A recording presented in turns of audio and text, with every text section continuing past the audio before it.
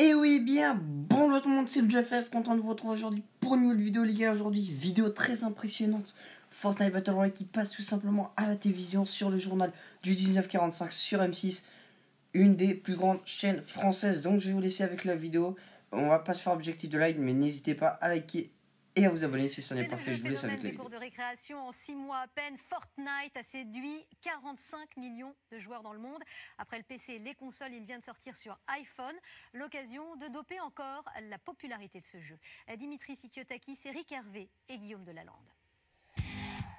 C'est la nouvelle danse à la mode et elle vient d'un jeu vidéo. En quelques semaines, Fortnite est devenu le jeu le plus populaire 118 millions d'heures de jeu sur la plateforme vidéo Twitch le mois dernier, très loin devant les anciennes stars League of Legends et PlayerUnknown's Battleground. Ce qui est bien, c'est que ça change aussi par rapport aux jeux qu'ils nous proposaient avant. Fortnite, c'est ce qu'on appelle un Battle Royale. 100 joueurs sont parachutés sur une île, sans armes ni matériel, avec un seul but, être le dernier survivant.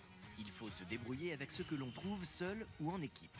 Il n'y a pas que du combat, on peut aussi construire quelques protections, des, gens, des murs ou des échelles ou des choses comme ça, qui donnent ce côté un petit peu créatif. On se bat, certes, mais il y a un côté très cartoonesque dans les graphismes qui donne un côté euh, bon enfant.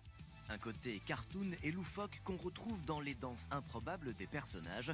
Devenues virales sur le net, elles ont aussi séduit les sportifs. Hier soir encore, Antoine Griezmann a célébré son but avec une danse tirée du jeu. Un phénomène parti pour durer. Les créateurs viennent en effet de lancer un grand concours mondial pour créer de nouvelles danses de la victoire. Ouais, c'est addictif, ouais, c'est addictif. On finit premier une fois, on allait finir premier à chaque fois, du coup on continue, on continue, et voilà. Il suffit d'un clic pour recommencer une partie contre une centaine d'autres joueurs en ligne. Les parties s'enchaînent très vite, trop parfois. Le jeu est ainsi interdit dans certains lycées américains et un professeur, joueur lui-même, a convaincu les créateurs de diffuser ce message appelant à ne pas jouer en classe. Si le jeu est gratuit à télécharger, on peut acheter de nouveaux costumes pour son personnage, des petits achats qui ont rapporté en février dernier plus de 100 millions d'euros.